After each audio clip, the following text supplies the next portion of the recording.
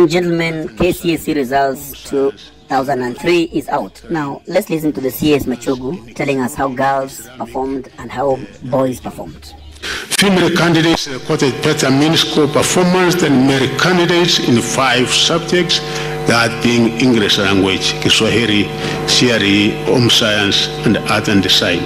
Male candidates recorded better mean score performance than female candidates in 10 subjects, this being mathematics, biology, chemistry, general science, history and government, geography, agriculture, computer studies, and business studies. There were one million two, there were 1,216 candidates, which is 0.14 percent, who obtained an overall grade A in the year 2023. The number of candidates who attained the minimum university entry qualification uh, this year, C plus and above, was 201,133. The number of candidates attaining a pass grade uh, D plus and above was 526,222.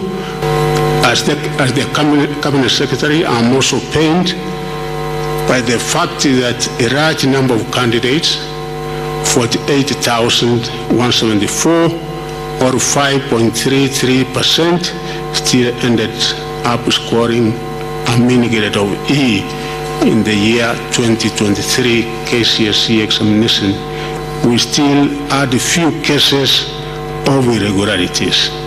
There were a total of 4,113 candidates who were reported to have been involved in examination irregularities in the year 2023 KCSE examination.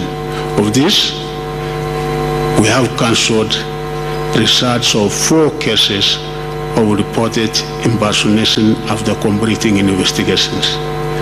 The results of the remaining 4,109 candidates who were suspected to have engaged in examination irregularities have also been withheld pending the completion of investigations in the, their cases within a period of 20 days from today accessing the 2023 KCSE examination results.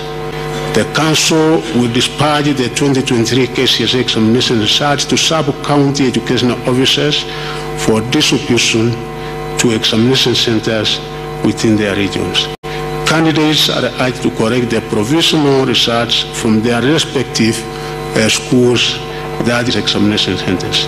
A candidate can also access the individual 2023 KCSE results online through a link on the KNEC website or directly through the URL https research knec.ac.ke.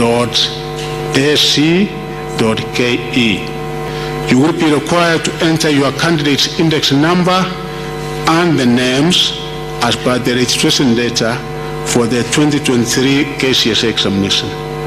And you will be able to get your research.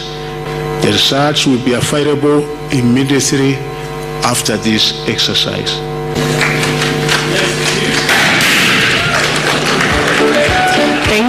thank you, thank you.